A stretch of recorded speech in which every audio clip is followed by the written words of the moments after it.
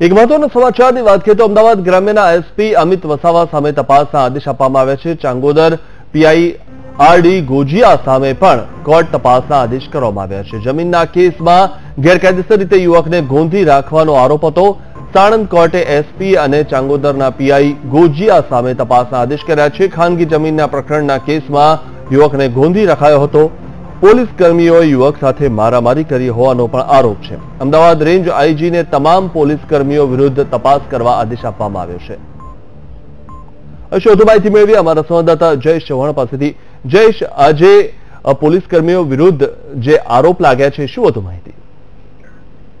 જે મિથુન સાણંદમાં જે ઘટના બની હતી, તેને પગલે સાણંદ કોર્ટ દ્વારા અમદાવાદ એસપી ચાંગોદર પીઆઈ સામે છે તે તપાસના આદેશ આપવામાં આવ્યા છે અને રેન્જ આઈજીને હુકમ કરવામાં આવ્યો છે કે જે રેન્જ આઈજી હુકમ કરવામાં આવ્યો છે કે જે એસપી છે, પીઆઈ છે, તે સહિતના જે પોલીસ કર્મચારીઓ છે, તેમની સામે તપાસ છે તે કરવામાં આવે અને તેમની સામે જો જવાબદાર ઠરે તો તેમની સામે પગલાં પણ લેવામાં આવે. જ્યારે વાત કરવામાં આવે તો ચાંગદોર પોલીસ દ્વારા છે તે એક શખ્સને છે તે અગિયાર અગિયાર લાખના રાંચની માગણી છે તે કરવામાં આવી હતી ત્યારબાદ તેને પોલીસે છે પટ્ટા અને દંડાથી માર માર્યા હોવાનો આક્ષેપ છે તે કરવામાં આવ્યો છે. જ્યારે સમગ્ર મામલો કોર્ટમાં પહોંચ્યો હતો અને કોર્ટે આ મામલે સીસીટીવી સહિતના તમામ પુરાવા પણ કોર્ટમાં રજૂ કર્યા છે. સાથે સાથે અમદાવાદ રેન્જ આઈજીને પ્રકારનો આદેશ કર્યો છે કે અમદાવાદ એસપી ચાંગોદર પીઆઈ સહિતના જે જવાબદાર પોલીસ કર્મચારીઓ છે તેમની સામે તપાસ કરવામાં આવે અને કોઈ પણ જવાબદાર થયો તો તેમની વિરુદ્ધ પગલાં પણ લેવામાં આવે. જી.